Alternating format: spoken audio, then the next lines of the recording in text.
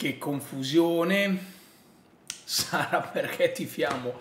Ragazzi, è oh, un senso di déjà vu costante che sta continuando a proporsi all'interno della mia testa. Perché soltanto ieri abbiamo fatto il video in cui vi dico che sono ufficialmente stanco di quella che è la situazione di Maria. E quindi io non è che voglio buttarmi di peso proprio interamente all'interno di questo tweet di Fabiana della Valle.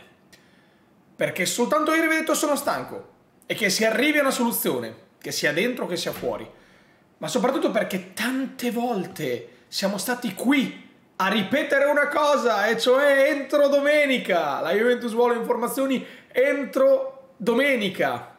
Oggi è domenica, sono praticamente le 6 meno 20 del pomeriggio e finalmente abbiamo una risposta non ufficiale, non arriva da Di Maria, non arriva dalla Juventus, ma arriva da una delle giornaliste che, anzi dalla giornalista, che prima di tutti era riuscito a mettere la voce Vlaovic in cima alle preferenze della Juventus. Quando sembrava una follia, quando sembrava impossibile in un mercato invernale dove storicamente in Italia la Juventus comunque non aveva fatto mai chissà che cosa.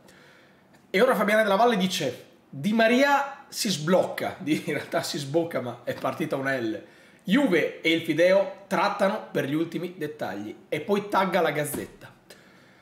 Quello che mi fa ridere, tra virgolette, perché eh, c'è poco da ridere in tutta questa situazione, è vedere come qualche giorno fa proprio la gazzetta, questa volta non con Fabiana, bensì con Giovanni Albanese, è andata in tutta un'altra direzione, dicendo che la Juventus aveva abbandonato la pista di Maria e che non si sarebbe più andati avanti su Di Maria, che la Juventus non avrebbe più atteso una risposta del giocatore.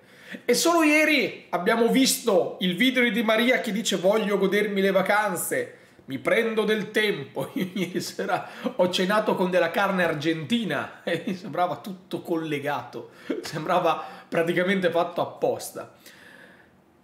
Poi sul discorso Giovanni Albanese c'è da dire una cosa e cioè che lo stesso Giovanni poi aveva ritrattato, ne avevamo parlato in un video del giorno dopo, aveva ritrattato a Sport Italia dicendo che non era una chiusura definitiva quella della Juve, bensì un'apertura a visionare anche altri profili perché la risposta di Maria non si faceva, no, non arrivava, si faceva attendere. Io sono sempre quella. Io di Maria lo prenderei alla grande, ma mi dà un fastidio incredibile vedere quanto la Juventus si sia effettivamente cavata le mutande di fronte a Di Maria, perché la Juve è andata ad accontentare ogni singola richiesta dell'argentino. E quindi mi auguro che se dovesse arrivare poi che questo possa tornare utile alla causa bianconera, perché veramente se dovesse poi arrivare Di Maria c'è da fare una statua a Cherubini arriva bene non tanto per il colpo, quanto più per la pazienza. Perché io mi metto in prima fila tra gli impazienti tra quelli che non sarebbero mai riusciti a portare a termine eventualmente un colpo di questo tipo, perché semplicemente mi sarei stancato di aspettare.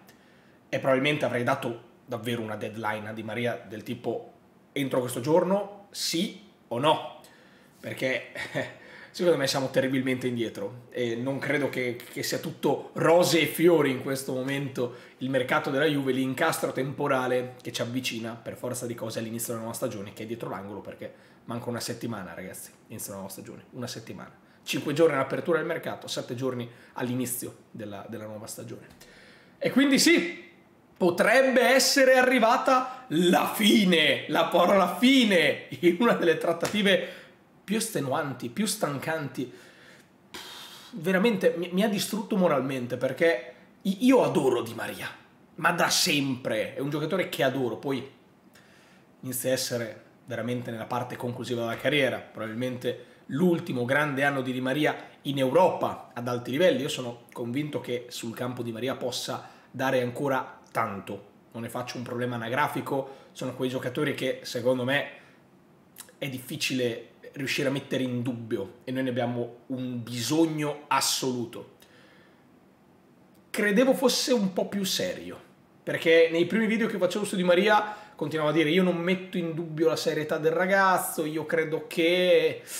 E invece per come si è poi evoluta devo rimangiarmele quelle cose lì. Poi mi auguro che possa essere più serio il giorno in cui davvero poi firmerà il contratto per la Juve, scenderà in campo con la Juve. Ecco, in quel caso mi auguro di vedere un upgrade. Mi auguro che questo discorso relativo alle vacanze si possa accantonare e mettere da parte.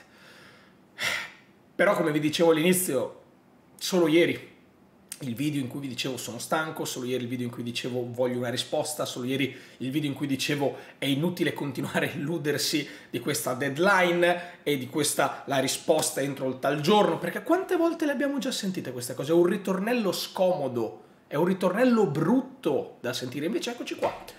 E quindi la domanda, per una volta la faccio io una domanda a voi, c'è da crederci? Perché la legge dei grandi numeri ti porta a pensare che a un certo punto al lupo al lupo, eh, forza di gridare al lupo, la gente poi non ci crede più. Ma quando poi c'è davvero il lupo, se gridi al lupo è un problema. E allora, è davvero arrivato Di Maria? Sotto forma di lupo? Possiamo gridare Di Maria? Finalmente possiamo farlo? O è l'ennesima, cioè l'ennesimo tentativo di cercare di raccontare una trattativa che in questo momento non ha passi in avanti? Io conosco Fabiana, ho avuto il piacere di lavorare insieme a lei, di portarvela anche qua sul canale ed era stata lei a darci anche una conferma definitiva sul fatto che Massimiliano Allegri sarebbe rimasto allenatore della Juventus e proprio lei ci aveva detto ha fatto alcuni nomi di calciatori che la Juventus proverà a prendere sul mercato ed erano proprio Pogba e Di Maria quei nomi. Ricorderete che nelle ultime settimane si era parlato di Allegri non proprio contento del mercato, si era parlato di questo anche eventuale, possibile, plausibile, potenziale interessamento del PSG. Ecco, questa notizia, Juve di Maria più vicini, Juve di Maria verso la fumata bianca, Juve di Maria sbloccata, si tratta per gli ultimi dettagli, va a prendere tutti questi pezzi del puzzle che abbiamo seminato eh, durante queste settimane, li raccoglie tutti insieme e mette insieme un quadro abbastanza positivo, e cioè la Juventus a pochi giorni dall'inizio della nuova stagione potrebbe aver concluso finalmente due trattative. Io più vado avanti, e ribadisco, lo dico da estimatore di Maria, e più nutro dubbi sull'operazione generale, perché non era stata pensata così all'inizio banalmente, non era stata pensata con un singolo anno di contratto, non era stata pensata con uno stipendio così alto, non era stata pensata con così tanta attesa e ribadisco da fan numero uno di Di Maria, da tifoso che sogna di vedere Di Maria con la maglia della Juventus, qualche dubbio me lo sto portando dietro, tanti dubbi, perché, perché sì, perché è un completo mettersi a disposizione del, del calciatore, del ragazzo. E, e, e anche una sorta di, di, modo di farti capire che davvero si sta tappando un buco con sì, un grandissimo calciatore con qualche anno in più, ma è soltanto tappare il buco per una stagione. Quindi mi auguro che si possa anche cercare di lavorare su questa cosa, mi auguro che sia passata in sordina, che si sia lavorato sotto traccia per cercare di convincere il Fideo ad accettare almeno due anni di contratto. Ed è folle pensare di dover cercare di convincere un ultra trentenne a firmare un biennale piuttosto che un contratto di un solo anno. Però dall'altra parte allora la domanda sorge spontanea. Perché andare a acquistare un calciatore e pagarlo così tanto, non sfruttare il decreto crescita per tenerlo uno e una sola stagione? Io sono convinto che Di Maria in campo possa dare tantissimo alla Juventus, tantissimo. Però devo dirvi la verità, rispetto all'inizio, ora nella mia testa l'operazione di Maria, qualora dovesse concludersi, ovviamente dovesse concludersi con queste premesse ha un valore differente. Ha un valore differente. Poi rimango dell'idea che nel momento in cui indossa la maglia della Juve, scende in campo, fa due numeri, due magie, mi innamoro.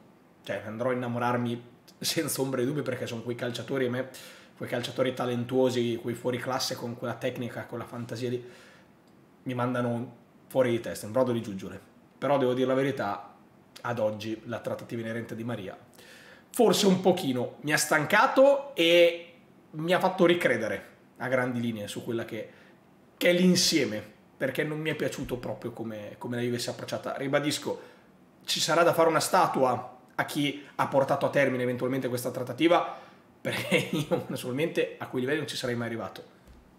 Io non faccio il dirigente della Juventus nella vita, io faccio altro e quindi spero che abbiano ragione loro. Dai ragazzi, cerchiamo di portare a termine questa trattativa, cerchiamo di iniziare ad aggiungere caselle importanti, pedine importanti alla squadra perché c'è un ritardo.